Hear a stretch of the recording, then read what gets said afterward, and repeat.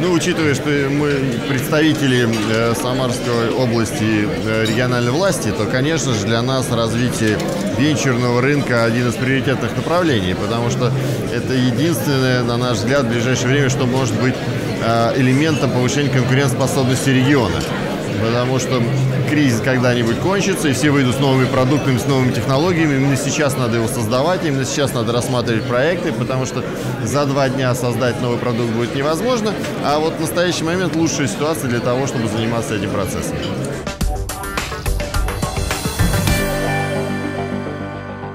весь венчурный бизнес, он базируется на новых идеях. А новые идеи, носители, это люди. Поэтому, соответственно, научные школы, э, люди, которые занимаются изобретательством, э, лаборатории, которые проводят исследования, они не меняются в один день. Соответственно, интерес к нашим традиционно так называемым наукоемким направлениям знаний, он, он присутствует и сейчас. Может быть, сейчас более сложные стали пути выхода на рынки, но при этом э, те позиции, которые мы занимали в разработке новых знаний и новых продуктов, мы сохраняем. Поэтому, на мой взгляд, сегодняшние трудности с изменением, может быть, объемов э, венчурного рынка, он в большей степени связан с оценками долгосрочных рисков. Вот то, что сегодня говорили о долгих деньгах и долгосрочном планировании вообще макроэкономических ситуаций. Но при этом ценность самих продуктов и технологий не поменялась.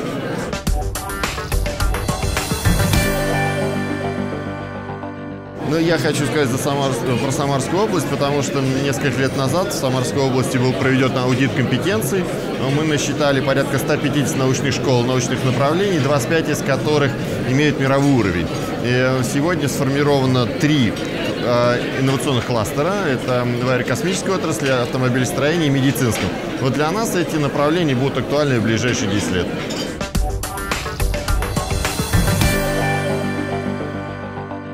Региональное развитие экономики мы построим по кластерному принципу. Соответственно, э, проекты, которые рождаются внутри кластеров, носят энергетические эффекты. И в этом случае для инвесторов они крайне интересны, потому что они определяют новые прорывные направления.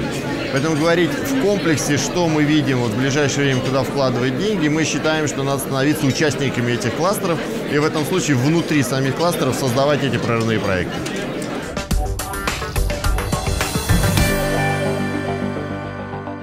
Мы участвуем в этой конференции каждый год э, с того момента, когда начали Самарскую заниматься темой инноватики. Дело в том, что РВК является а, лучшим партнером для Самарской области. Мы очень много наработок, которые формируются в РВК, пытаемся внедрить у себя в регионе, а, потому что мало говорить об венчурном рынке, надо иметь специалистов. Опять же, строить строить этот весь бизнес на людях, которые с помощью программы РВК получают дополнительные компетенции и знания.